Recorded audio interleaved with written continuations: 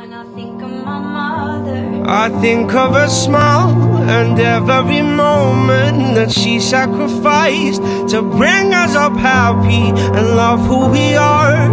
Trust our emotions and follow our hearts. Yeah, when I think of my grandma, think of her grace. She overcame cancer, laughed in its face. These are the women that shaped me, taught me so much. I'm blessed with my family, it's nothing but love.